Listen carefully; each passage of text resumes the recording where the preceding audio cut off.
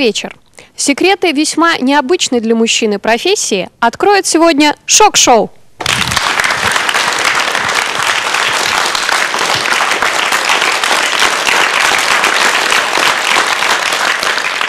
Многие молодые люди, претендующие на экономическую независимость и светский лоск, продолжают черпать материальные блага из кошелька родителей.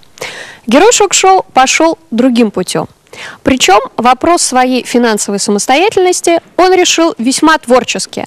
Приглашаю Эдуарда в студию.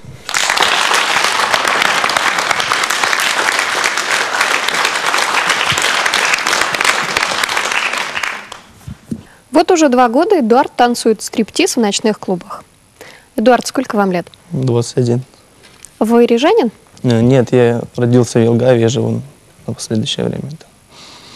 До того, как вы стали танцевать стриптиз в клубах, вы занимались спортом или танцами?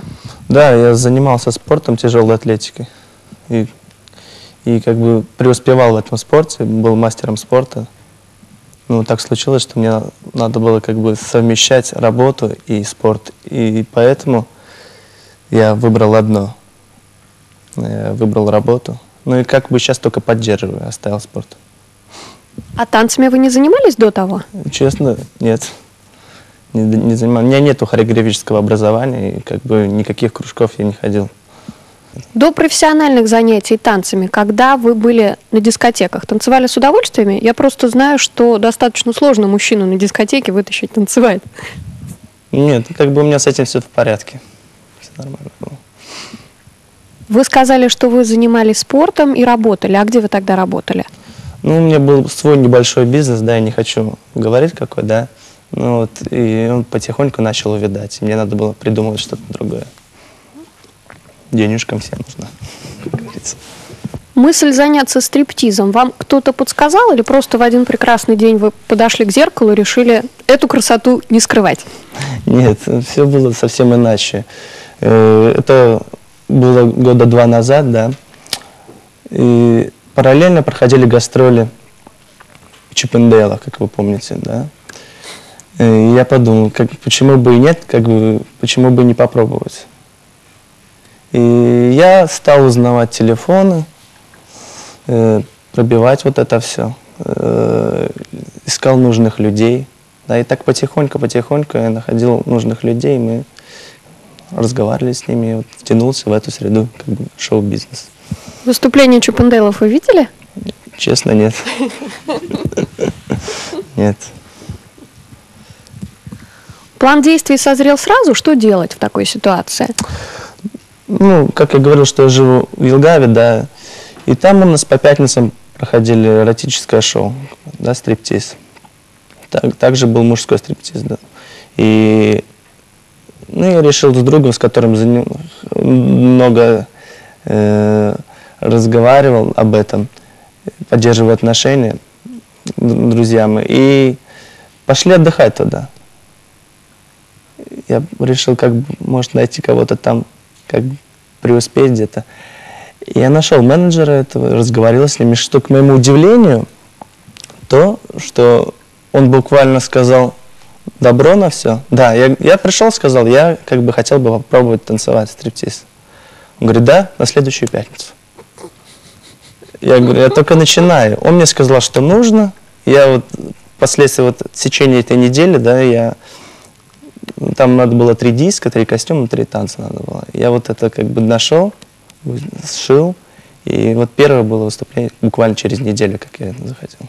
Как вы умудрились за неделю сделать три номера? А Очень просто. У меня сестра швея, и я очень хорошо попросил ее просто. Кто поставил вам эти первые танцы? Я сам. Я долго вечерами думал, что да как делать. И как бы, конечно, не сразу все получилось, но какие-то элементы я э, закрепил в себе, и как бы я их начал дальше развивать. И так потихоньку-потихоньку. Ну, конечно, первый раз вышел мне менеджер, я просто увидел менеджера лицо, как бы, и понял все сразу. Надо, надо развивать все. Надо смотреть, чуть дальше, чтобы было интересно людям и мне.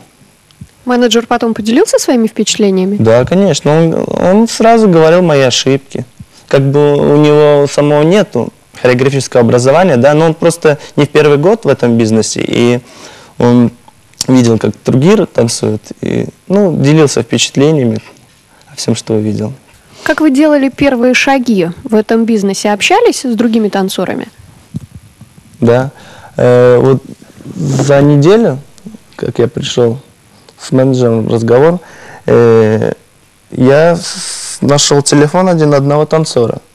Я решил с ним встретиться, поговорить как, что, сколько платят и э, дальше. И я позвонил, ну, у меня первое впечатление было о нем, что я увижу у человека атлетического телосложения. Э, ну, рост метр восемьдесят пять, метр девяносто. Черненький там. Думаю, ну как я впишусь в это? Ну, рост метр семьдесят шесть, семьдесят пять, где-то так. А я прихожу на встречу и вижу перед собой парня совсем не атлетического телосложения, ростом даже, может, ниже меня. Только блондинистые волосы, что его выдавало, что-то он чем-то вот так выделялся из толпы, например. Ну вот мы с ним разговаривались на... Вот мне вот это сбросило глаза, я уже подумал, ага, значит, не все так плохо в моих шансах. Ну вот, мы встретились, и я начал расспрашивать, задавать вопросы, как вы мне сейчас. Также разговаривались, он мне все объяснил, всю ситуацию. Мы тоже дал много телефонов уже через него. Он ну, помог мне тоже во многом. Как восприняли вас будущие коллеги? Ведь вы были их конкурентом. Как? Во всем бизнесе, конечно. Сначала был, был какое-то не презрение, а вот так таинство какое-то в их глазах. Я не знал их, они не знали меня.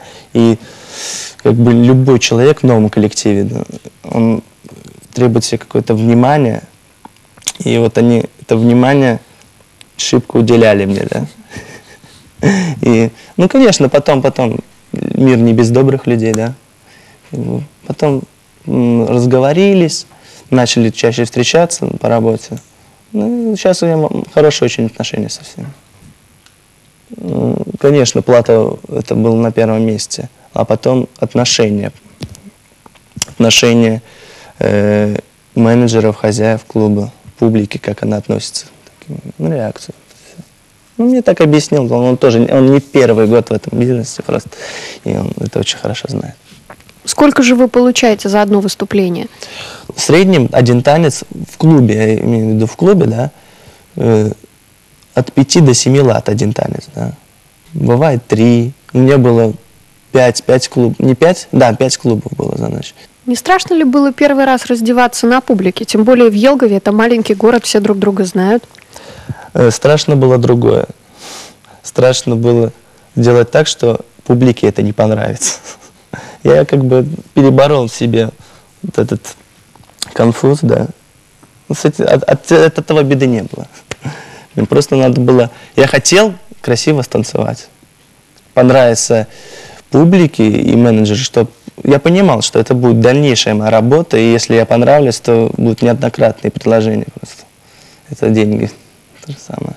Кто-то из ваших знакомых был на этом первом выступлении?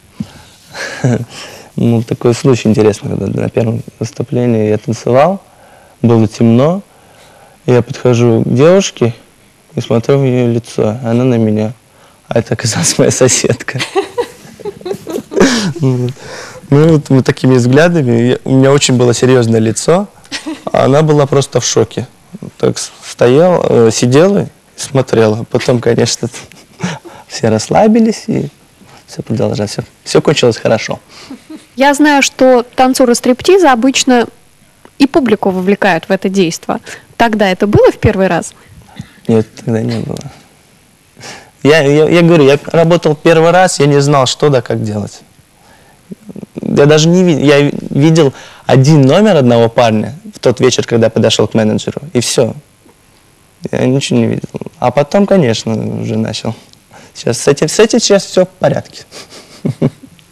Вы так отчаянно видели один танец и решили, что вы ну, пойдете да, да. Надо, надо как-то начинать, правильно? Чем быстрее, тем лучше, если.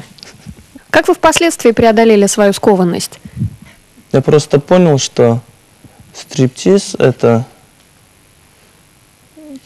как искусство. И эта скованность ушла на второй план. Я отношусь к стриптизу как к искусству. Это, ну, вот, э, сравнение, если вот актер и стриптизер, это с одной точки зрения это две неотъемлемые вещи. Э, актер, э, он тоже ходит в роль, у него какие-то есть э, э, монологи, а у стриптизера то же самое, только он тоже ходит в роль, он там солдат или морячок или да, какие-то там еще роли, но он не говорит, он это воплощается в танце. Приходилось ли вам танцевать в гей-клубах? Да, пригодилось. Э, Больше скажу, что первым моим клубом был как бы на постоянной работе гей-клубе танцевал. Я скажу сразу, что я нормальной ориентации, да, и мне было это очень трудно. Э, Я чувствовал себя не в своей тарелке. Первые две недели я отработал и просто сидел в одном месте там. Я понимал, что надо что-то делать. И, потому что это все идет в денежку, да. И как бы, если я на данный момент не мог ничего найти лучше, я работал в этом клубе, мне приходилось работать. К вам приставали посетители? Да, ко мне подходили и говорили, что э, подходит, говорит, я твой поклонник, там, или еще что-то. Но они быстренько поняли, что как бы я другой человек. И это очень радио быстренько все доложило, и не оставили в покое. Кроме стриптиза, чем вы еще занимаетесь? Недавно я, месяц назад, да, арендовал автомойку. Я хочу еще попробовать в другой сфере.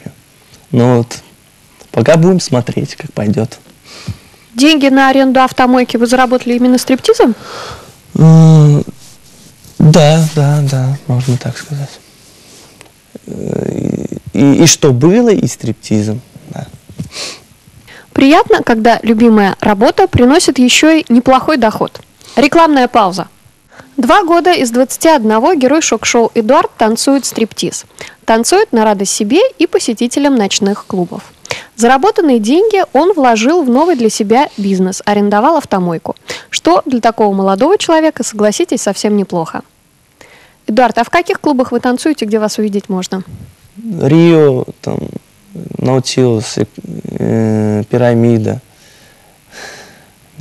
По психофоруме долгое время работал тоже, да. Ну, в основном все клубы вот так.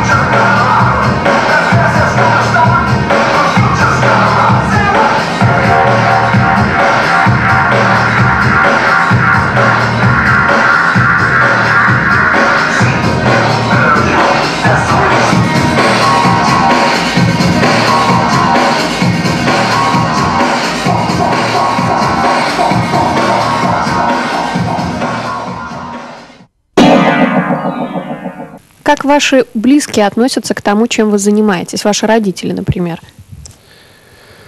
Если честно, у нас не было такого разговора конкретного. Ну, так я вижу со стороны, что все в порядке. Никаких упреков, ничего. Главное, что приносил деньги, было все во благо. Если я не делаю это своим, э, своей работой никому плохое, то Девушка у вас есть? да. Где вы познакомились? В клубе познакомились. Вы не работали в тот момент? Нет, я не раб- я отдыхал. Когда она узнала, что вы стриптизер, как она реагировала? Ну, э, это она узнала буквально через недели-две, через неделю, что это. Это, конечно, там, ну, ей было интересно, о, так необычно, там, там не на железной дороге, да, не кондуктор, не, не кондуктор нигде, а стриптизер, да. И было интересно. Но когда это знакомство пере- переросло в чувство, это очень стало болезненно. для нее и как бы для меня тоже в какой-то мере. Почему она ревнует? Да. А сначала она этого не показывала. Говорит, я все понимаю. Но сейчас так последнее время очень сложно стало. Очень сложно. Я, конечно, я все объясняю, все, говорю, давайте я возьму с собой, будешь ездить, посмотришь, как это все происходит. Вот нет, вот, вот, вот ей надо вот поскандалить лучше, чем вот поехать со мной и посмотреть, что куда. Вот ты договоришься со всеми, там, вот если ты меня возьмешь, заранее ты говоришь, ничего не, не будет, а ни с кем я э, не буду разговаривать, никто со мной не будет разговаривать. Ну, я говорю, ну, глупости, это все. Ну, просто она не знает, как это все происходит. И, и я уважаю и очень прекрасно понимаю в этом. Когда она упрекает и начинает скандал из-за этого, я ничего не говорю, я очень прекрасно понимаю. Потому что, если сказать с моей точки зрения, если бы у меня была девушка и я чувствовал, что я привязываюсь к ней, я бы оттолкнулся, я бы не стал с ней никаких отношений заводить что мне было бы очень больно. Я понимаю, что она чувствует сейчас. Она когда-нибудь видела, как вы работаете? Да, один раз видела. Сначала она сказала, ей было очень интересно. Но потом случилось внутри, она не знает, что, не может объяснить что-то такое, что ей стало противно. Как, ну, как бы можно понять это. Противно не в том смысле, что некрасиво что-то, а что как бы я принадлежу ей, и вот я вот, она должна меня только видеть обнаженным, да, а вот меня все видят, там, я, как говорил, вытаскиваю публику на, на сцену. Вот ей стало это невыносимо, да. И она сказала, что она пошла к бару и начала пить виски. А как же на самом деле у мужчин-стриптизеров обстоят отношения с поклонницами? Пристают? В моей практике не было такого. Вот, э, может, когда после работы прям ты переоделся, сходил в душ, вот может в этот момент интересно познакомиться, правда ли, да? А вот чтобы я выходил из клуба и там, там подбегали, нет, нет, нет, такого нет. Я сужу по художественным фильмам, и я видела, что стриптизерам засовывают деньги за трусики. У нас это принято? Да, у нас это принято. Ну, я могу сказать так, что из практики своей посудить, что э, женщины жадные, скажем так, на это дело. Э, как бы девушкам все доставляется много раз больше и легче. Не, ну были-были такие ситуации, да. Очень приятно мне было. Я думаю, что дело может быть не только в жадности, но все-таки женщины обычно Нет, с мужчинами не, приходят. А, да, да, с мужчинами. И даже были такие ситуации, что если нравилось де девушке, ну вот э, парень с девушкой или мужчина с женщиной пришли, то мужчина дает деньги женщине, и она вот тогда так... Есть ли у вас какие-то правила вот во время танца? Кому подходить, кому не подходить, сколько внимания, времени уделять? Да, э, есть. В основном, когда работаем каком-то клубе, там требуется две девушки один парень, да. Девушки, как правило, первые идут танцевать. Девушка одна, я там второй или третий. Я сразу спрашиваю об обстановке, как, как, какая публика, агрессивно, не агрессивно, нормально настроена. Это, вот, это первый принцип такой. Потом, когда я уже непосредственно вышел на сцену, я смотрю вот ту жертву, для которой я буду работать. Я работаю как бы э, для всего зала, чтобы это было красиво со стороны. Да, вот я ищу такую жертву, вот кто так ведется. Да, если, если нету такого человека, то приходится своими силами как-то танцевать одному, там, чтобы красиво было. А так, да, неотъемлемая часть э, работает. Как наша публика, как наши женщины реагируют на внимание стриптизера? Есть молодые женщины, есть уже зрелого возраста женщины, да, и реакция идет по-разному. Могу сказать точно, что положительная, в основном всегда с практики могу сказать, что положительная реакция шла у зрелых женщин. Всегда. Очень легко с ними работать. Они не смущаются? Нет, они не смущаются, как бы они прожили больше жизни, они, они знают, что это искусство, грубо говоря, прикол, да? им это интересно. Отличается ли сам танец э, перед женской аудиторией от танца перед мужской? Я имею в виду в гей-клубах. Какие-то э, приемы, может быть, другие? Нет, все так же самое. Вот я скажу такую вещь, что я, танцуя, никогда не вытаскивал в гей-клубах мужчину, никогда этого не делал. И я скажу просто, там смешанная публика, я искал просто девушку, и вытаскивал девушку. Да, расскажите, пожалуйста, когда вы начали танцевать стриптиз, избавились ли вы от каких-либо комплексов, если они у вас были, конечно же? Я скажу вам такую вещь, что даже сейчас на сцене я могу вытащить девушку, раздеть ее, раздеться сам. А в жизни я не, я не могу подойти к человеку. Вот если мне нравится девушка, я не могу с ней первый заговорить. У меня до сих пор этот конфуз остался, и как бы я не понимаю, что это. Это в человеке изнутри. А кто больше получает, мужчины или девушки-стриптизерши? Когда все начиналось, пошел слух такой, что парни получают больше, чем, чем девушки. И я считаю, что это нормально, да. Но все получают одинаково. Дарт, вас приглашали на какие-то закрытые вечера? Есть девишники, как вы знаете, да. Вот, если девушка вот перед свадьбой, вот они устраивают девишники. Да, приглашали. О, это, это очень интересно всегда, да. Структура, постановка, все одна и та же. Вот я прихожу, говорю, где эта виновница, да, как бы танец для нее они заказывают. Я ее берется стул или, ну, чтобы ее отделить от толпы, вот, они сидят, смотрят, а я работаю для нее. И я работал в клубе Джимбим, и при, подошел человек и сказал, что вот у нее девишник, э, и вот она после программы отвезет. Все, у нас было двое. Говорю, да, хорошо. Договорились о цене. Мы приезжаем. Я вижу такое здание, совсем непростое. Мы туда заходим. Я потом все сразу понял, что мы работали для каких-то, как, как я понял, не для них работа, а для их девушек криминальных авторитетов. Когда я, я еще не знал, что да, как, я только видел хорошо накрытые столы, сауну, вот, вот все сделано по первому классу. Я думаю, ну кто же, с кем договориться, мы вдвоем зашли, я услышал только звук шагов, поворачиваюсь, я сначала вижу этот крест, потом человека. И вот он с нами договорился, для кого что работать. Вот тогда я почувствовал, вот, это было интересно для практики, да, но мне было неприятно, честно. Если бы я знал заранее, куда мы поедем, то я бы отказался. Есть ли у вас еще какие-то дополнительные хобби? Ну, хобби у меня простое. Рыбалка. Очень, не, очень люблю природу, вот, очень люблю.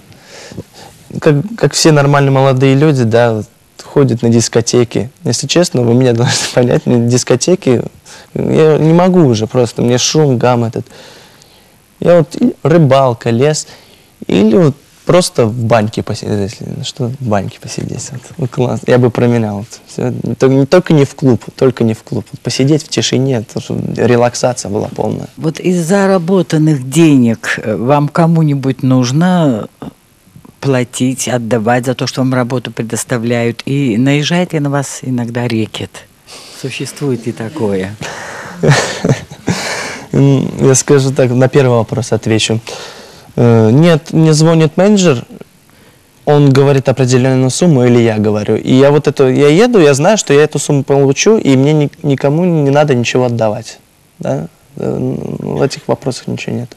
Насчет рэкета, ну, это, бы, бизнес этот не очень такой э, прибыльный, чтобы, ну, сами понимаете, да, там 20-30 лат за ночь, да, ну, рэкет, ну, будут они за каждым бегать и каждого выпрашивать эти деньги. Ну, В ночных клубах существуют приватные танцы. Да, а, есть. Вам приходилось танцевать именно приватные танцы? И как часто? Приходилось. Э, к сожалению, не часто. Почему к сожалению? Потому что это хорошие деньги. Да, там совсем идет по-другому, танец состоит совсем в другом, да. Э, В клубе ты работаешь, ты танцуешь, ты двигаешься, ты делаешь, чтобы это красиво. Что требуется в приватных комнатах, чтобы это было эротично, чтобы ты завел этого человека. Но э, я знаю, о чем вы сейчас все думаете, этого не происходит, и, э, ни в коем случае. Для этого друго- другое есть название других людей. Вы не боитесь, что из-за своей работы стриптизера вы можете потерять свою любимую девушку? Вот сейчас такая ситуация, да, в моей жизни, в отношениях, что чем дальше, тем хуже я вижу, что все происходит в отношениях. Я очень не хочу потерять человека из-за моей работы. Но если придется выбор, э, девушка или работа, то я скажу так, что я уважаю ее, и если она любит, она должна уважать меня и понимать все это. Представьте себе такую ситуацию, если было бы все наоборот. Если бы ваша девушка танцевала стриптиз, а вы были бы бухгалтером. Как бы вы к этому относились? Ревновали бы вы ли ее к ее профессии? Я очень уважаю, очень ее уважаю. Вот то, что она сейчас со мной до сих пор. Э, Но я сразу скажу откровенно, и искренне, что я не смог бы быть с, девушкой, со стриптизершей, потому что я, я сам собственник, да, и я как бы не мог вот, представить такую ситуацию, что вот она обнажается, да, и вытаскивает тоже с публики. Я не мог. Она она вот, вот это должна делать со мной. Э, никого, не кто-то из, из-за. И, ну, не знаю, наверное, тогда любовь раз удерживает. может. Да, мужчина-стриптизер в первую очередь мужчина. Рекламная пауза.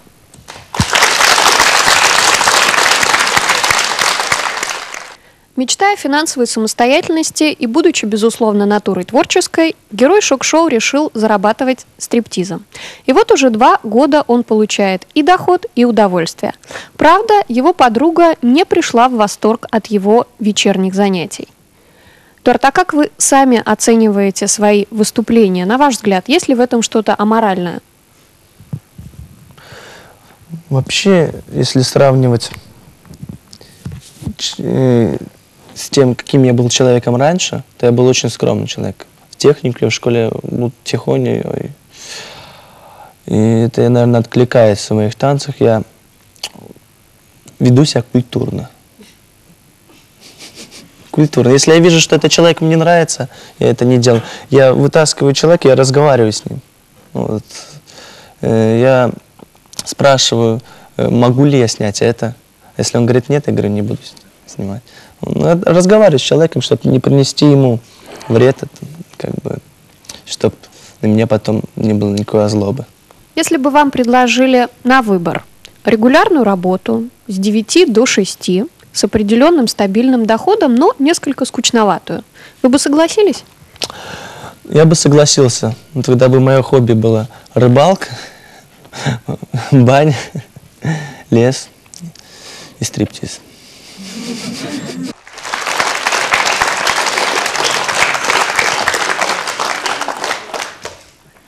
Для своей девушки вы стриптиз танцуете? Интересный вопрос. Это проблема моей девушки. Она очень давно хочет, чтобы я для нее станцевал.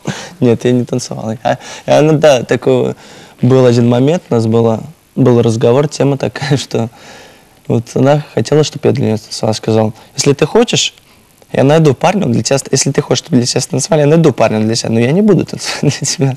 Как Почему? бы, не знаю. А я, я, кстати, не знаю, может, и меня. Был- был- была бы такая ситуация. Тет-а-тет, конечно, наверное, так. Вы на день рождения станцуете? Да, наверное, станцую. Эдуард, как долго вы собираетесь танцевать? У вас есть какая-то заветная сумма, которую вы хотите скопить? Или будете танцевать, пока возраст будет позволять? Я думаю, возраст не причина, чтобы бросить танцы, стриптиз, да, потому что, знаю, есть парень, работает ну, 35 лет. Нормально, я думаю, все в порядке с этим. А, ну, я не знаю.